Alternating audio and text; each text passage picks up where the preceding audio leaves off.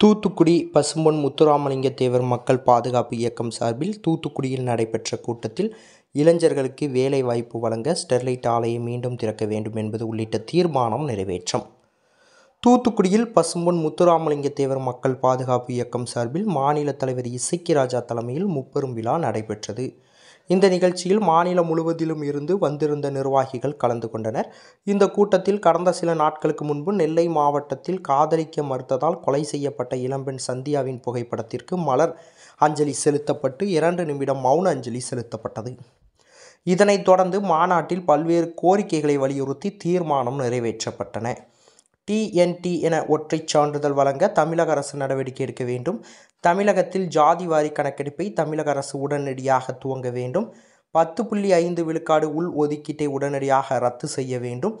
தமிழகத்தில் குற்றச்சம்பவங்களை தடுக்க பூரண மதுவிலக்கு மற்றும் போதைப் பொருட்கள் நடமாட்டத்தை தமிழக அரசு முழுவதுமாக கட்டுப்படுத்த வேண்டும். தமிழகத்தில் அதிகரித்து வரும் இளம் பெண்கள் கொலை சம்பவங்களை தடுக்க பெண்கள் பாதுகாப்பிற்கு தனி சட்டம் உருவாக்க வேண்டும்.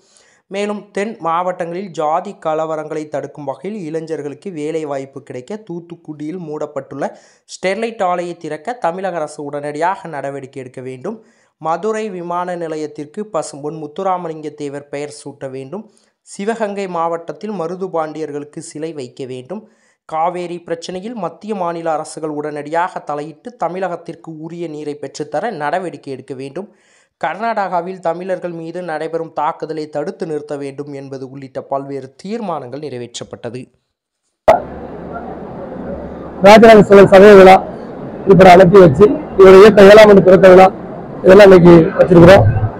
கிட்டத்தட்ட மூவாயிரம் உறுப்பினர்களும் பொறுப்பாளர்களும் போராளிகளும் கலந்துட்டு இருக்காங்க. அதாவது அரசாங்கத்தை வந்து நாங்கள் நான் வந்து எண்ணற்ற கோரிக்கைகளை வந்து நாங்க இது வரைக்கும் வந்து வச்சிருக்கோம். அதில் வந்து ஒரு சில மற்ற நிறைவேற்றிட்டு மற்ற நிறைவேற்ற முடியாங்க அந்த வரிசையில தமிழ்நாட்டுல கல்லர் மரவர் அகமுடையவர் இந்த மூன்றையும் வந்து எப்படின்னா ஒரே இடமா தேவரணமா வந்து அறிவிக்கணும். அது ஏற்கனவே ஜீவோ இருந்துச்சு. அதை நடைமுறைப்படுத்தலை இவங்க நடைமுறைப்படுத்தல. அப்புறம் சாதிவாரி கணக்கெடுப்பு நன்- கண்டிப்பான முறையில் நடத்தியே தீரணும். குறிப்பிட்ட ஒரு மக்களுக்கு மட்டும் ஜாதிவாரி கணக்கெடுப்பு எங்களுக்குலாம் இல்லை அப்படிங்கும்போது எங்களுக்கு வேதனையாக இருக்கு. ஏன்னா ஜாதிவாரி கணக்கெடுப்பு எடுத்தாதான் ஒரு சமூக உறுப்பிடும்.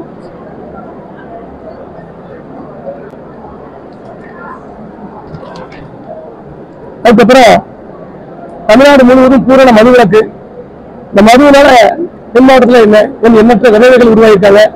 இளம் பிள்ளைகள் வந்து இன்னைக்கு வந்து இதெல்லாம் படிப்பெல்லாம் வந்து தொடர முடியல. இந்த மது உண்மையிலே இந்த நாட்டுக்கு உண்மையான ஒரு அரசனா ஸ்டாலின் அவர்கள் இருந்தாருன்னா இந்த மதுக்கடைகளை இழுத்து மூடணும். தென் தென் மாவட்டம் முழுவதும் போதைப் பொருள் வந்து எப்படியா தடுக்க முடியல. காவல்துறை எவ்வளவோ முயன்றும் வந்து தடுக்க முடியல. இன்னமும் கஞ்சா எல்லாமே நடமாடிக்கிட்டு தான் இருக்கு. ரவுடிகளை இரும்பு கடை கொண்டு அந்த கஞ்சா வியாபாரிகளை இரும்பு கடை வந்து முதல்வர் ஒடுக்கினாலும் மீண்டும் மீண்டும் பண்றாங்க. அதனால மாற்று ஏற்பாடு பண்ணி மீண்டும் தமிழகத்தில் வந்து இந்த கஞ்சாவால போதையால கொலைகள் ஏற்படக்கூடாதுன்னு சொல்லி அது அரசுக்கு ஒரு கோரிக்கை வைக்கும் இப்ப பாத்தீங்கன்னா திருநெல்வேலியில சந்தியான ஒரு பொண்ணை காதலுக்கு வந்து அறுத்து கொண்டாங்க. இது போன்று தமிழகம் முழுவதும் ஒருவரை காதல்ல நாடக காதல்னால எண்ணற்ற இளம் பெண்கள் கொல்லப்படுகிறார்கள். இதுக்கு தனி சட்டம் ஏற்ற வேண்டும். தென் மாவட்டம் முழுவதும் பாத்தீங்கன்னா தொழில் நிறுவனங்கள் இல்லாம தான் சாதி சாதி கலவரம் நடக்குன்னு சொல்லி ஆயிரத்தி தொள்ளாயிரத்தி தொண்ணூத்தி ஏழுல ஓய்வு பெற்ற சுப்ரீம் கோர்ட் நீதிபதி ரத்தவேல் பாண்டியன் தலைமையில குழு அரசியலை வந்து வச்சிருக்காங்க. அதன் பிரகாரம் வந்து கன்னியாகுமரி மாவட்ட நீதிபதி வேணும் வேணுகோபால் கமிஷன் அறிக்கையில தென் மாவட்டத்தில் அதிக வேலை வாய்ப்பு ஏற்படுத்தும் சொல்லி சொன்னாங்க. இந்த நாங்குநேரியில் வந்து ஒரு தொழில்நுட்பம் அமைக்கணும்னு சொல்லி எல்லாம் கால் நட்டு போனாங்க. இன்ன வரைக்கும் நடத்தலை. அப்போ ஸ்டெர்லைட்டால எந்த ஒரு பாதிப்பு இல்லைன்னு எல்லாத்துக்கும் தெரியும். ஸ்டெர்லைட் எதிர்ப்பு போராட்டத்தில் அதிகமா கலந்து கொண்டது நான் என் வழக்கம் இருக்கு. இன்னைக்கு ஸ்டெர்லைட்டோட மோசமான கம்பெனிகள் தூத்துக்குடியில் அதிகமா இருக்கு. அங்க வந்து யாருமே வந்து ஆஹ், இது இல்ல. அதான் என்னன்னா மக்கள் இன்னைக்கு வந்து நிலத்தடி நீர் வந்து மாசுபட்டு இருக்கு ஏகப்பட்ட பிரச்சனை இருக்கு அந்த கம்பெனிகால ஆனா அதெல்லாம் சொல்லலை. ஏன்னா இவங்க வந்து ஒரு மிஸ்டரிகள் மிஸ்டரிகள்லாம் சேர்ந்து தான் இதை முடிந்தது அந்த போராட்டத்தில் கலந்துக்கிட்ட யாருமே உள்ளூர் மக்கள் இல்லை. எல்லாம் வேணும்னே இதை பண்ணிட்டாங்க. மத்திய அரசுக்கு வந்து அழுத்தம் கொடுக்கணும். இன்னொன்று என்னன்னா செல்லத்துக்கு ஆதரவா யார் மனு கொண்டு போனாலும் கனிமொழி அமைச்சரை வந்து ஏங்கிறதுக்கு யோசிக்காங்க. நாங்களும் மக்கள் தான் நினைக்கணும். அதாவது எப்படின்னா அந்த மாவட்டத்துல வந்து தொழிற்சாலை வேணும். இளைஞர்கள் நல்லா இருக்கும்னு நினைச்சு ஏகப்பட்ட இன்னைக்கு மக்கள் வந்து தயாரா இருக்காங்க. அதனால வாக்கு வங்கி வந்து எப்படின்னா வா வந்து ஓட்டு போயிடும் சொல்லி நினைக்க வேண்டாம். ஏன்னா அவங்களுக்கு எவ்வளவு செல்லுக்கு ஆதரவாக தான் நிறைய மக்கள் இருக்காங்க. ஏன்னா அது செல்லு இருக்கும்போது அவ்வளவு பேர் வேலை பார்த்தாங்க.